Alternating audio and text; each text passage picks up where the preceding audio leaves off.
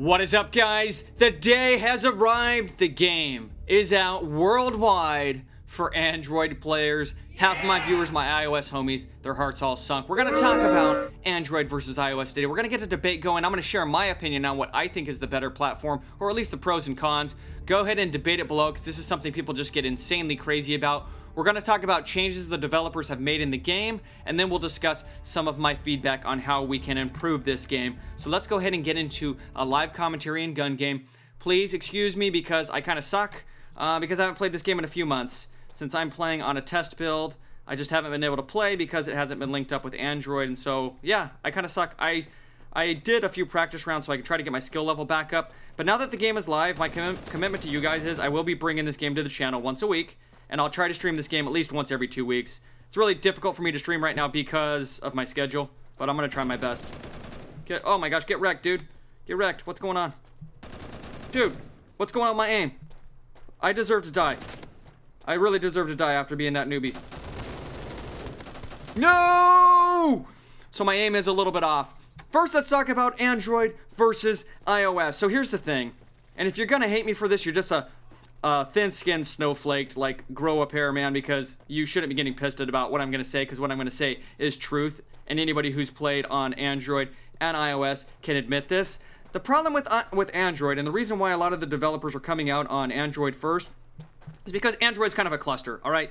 The devices there on Android are cheaper. Yes, it's more flexible. Yes, um, Apple does restrict you a lot on iOS. That is very true. So if you want flexibility, if you want cheaper... Why am I treating this like a sniper? What am I doing?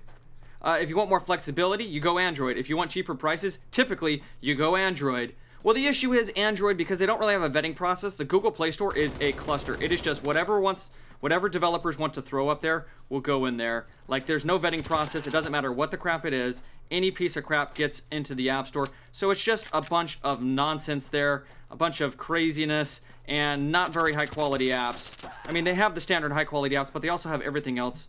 Also, most of the hacking community, I just thought that guy right in the balls. Most of the hacking community is over on Android because it's easier to hack. Again, because it's open platform, it's easier to hack.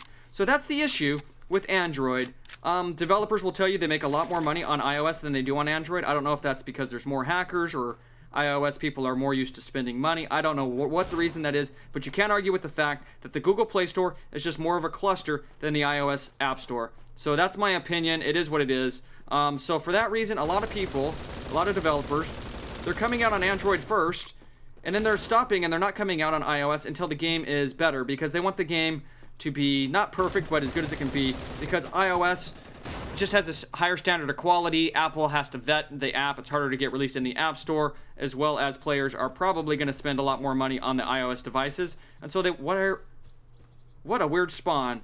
I have to wow, I don't like that spawn. All right, we have to jump.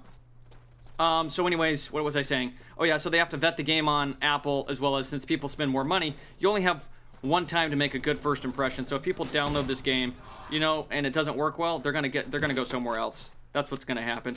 So the developers, they're working on updating the user interface before they release on iOS. But so many people had the game already on Android, they thought, screw it, we're just going to release on Android. So please, if you're an Android player, go to the App Store, the Google Play Store, and give this thing five stars because we need to tell developers that uh, we are okay with a non-pay-to-win model. It's time for us to stand up as players. This is a game by the players for the players. It's time for us to stand up as united gamers and show the developer community that we won't deal with pay-to-win, and this game is not pay-to-win. On that note, we'll talk about um, how this game makes money. As you guys know, um, you can unlock everything in the game for free. Um, the only thing that costs is if you want to progress faster, all right? So you can pr progress and unlock everything, I would say, fairly quickly. Like, compared to Modern Combat 5 and some of these others, you can progress fairly quickly. The other way you can spend uh, money on the game is you can buy, of course, skins. Oh my gosh, my aim, dude. My aim. See, that's my aim right there. It's bad. It's bad. It's really bad. So if you want to progress more quickly, you can spend money. If you want to buy skins, you can spend money. That's how, uh, and sometimes they'll have unique items, but it's not going to be stuff that's going to give you like an unfair advantage. Um, so give it five stars. If you have money and you want to spend money, fine. But the main thing is, this game costs a lot to run. Right now, they're running at just about a $1,000 a month just to run the servers to house the multiplayer, so they need money. That's why they have to charge for something. They can't make it entirely free. Also, you know, it costs to get it costs uh, to get the maps built, the guns built, um, all the coding, everything else that's going on. It's very, very expensive. Tens and tens of thousands of dollars. This guy's right over there. Can I hit him to, to run this game? So that's why it's not completely free with everything unlocked out of the get-go. Um, but still, it is it is a free-to-play game. It really is. You can download the game for free. You can unlock everything for free if uh, if you just grind. So, oh my gosh. Wow. I got a triple on myself. Double and a triple. We're on to the MPX. The gameplay's been absolutely horrid because I've been really focusing more on the commentary. We got to come around the corner here. And where is this guy going to be? Where are you? Where? Where? Where is he? Dude, the guys, the guys in this map, they just get up on the hills. They get up on the hills. All right. So I got to learn the maps again. I got to get my skill level up again. Next week, I promise I'll be much better as far as the quality of the gameplay. Um, it's like I'm relearning the maps.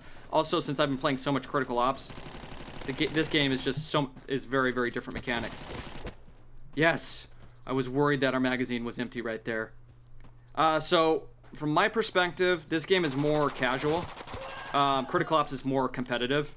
And um, so I like casual better, and my I, I like it better. Also, th this game has a lot more variety in game modes, secondary weapons, um, the throwables, just a lot more variety, and even things like as simple as aiming down sight. Critical Ops is just hit fire for days, and to me that gets a little monotonous, um, and that's why I, I prefer Bullet Force. It just fits my style more. So that's my opinion. You guys can let me know what you want to know below. Okay, now some, now for some feedback um, or some changes the developers made. So I think they're working on a new map right now. I'm not exactly sure. Um, the other thing is they changed the spawns. The spawns are much more close together. Um, basically what it does is it reads the map and it, it won't spawn you right in, on top of somebody, but it will spawn you where the action is. So you don't have to run across the map because these maps are big. A lot of the maps are big, kind of the Battlefield-esque style, which doesn't really work as much on mobile because it's, since it's not a PC game as Battlefield is, it has big wide open maps, and I am a FPS noob when it comes to Battlefield or any PC or console FPS. I only know mobile FPS. I just know for me the maps are too big, and to counter that, uh, they changed the spawn. So it's just going to be more action, more fun. Why is this UAV not working? There we go. We got it. Finally. Finally. Somebody's coming. Where you at, dude? There we go. There we go. Somebody's up top here. Oh, he's up there. You see him? Let's kill him. Oh my gosh, he's hiding. What, what's, what's going on? There we go. We sniped you, dude. Good thing we got the sniper there. So that's pretty cool. What else been changed? The background music on the main menu, that's been changed. That's pretty cool. Hold on. Oh my gosh. Did I kill that guy? No, somebody knifed him. I was like, my aim was off. I don't like that scope. Luckily, we got the two kills. We'll come back. Let's go back this way. So just a, some feedback for the developer, or uh, I would like to get you players' perspective on this too. I feel like the knife is overpowered.